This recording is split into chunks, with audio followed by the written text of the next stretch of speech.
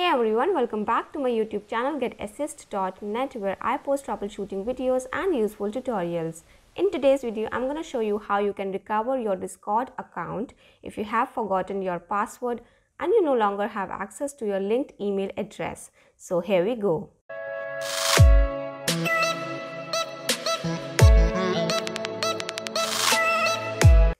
If you are not able to get back to your Discord account due to a forgotten password and want to reset it without using your linked email address, you have to open a browser on your mobile device and just type Discord support.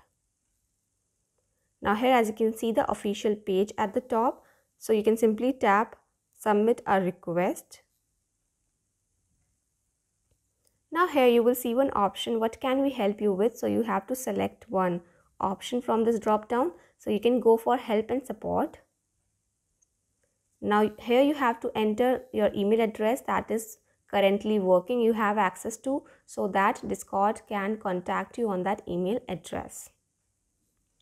After that you have to select a type of question. So from the drop down you can just scroll down and select forgot email password.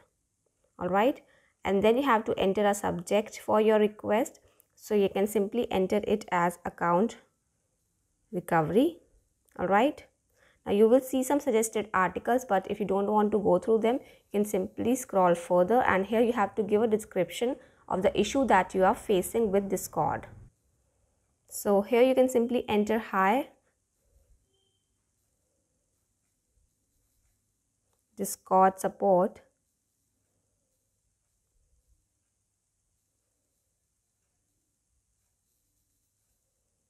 I have forgotten my password and no longer have access to the linked email address.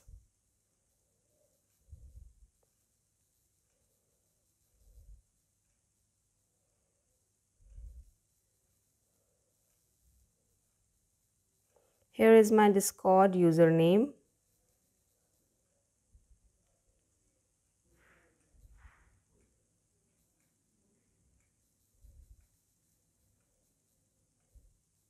Kindly help me to recover it.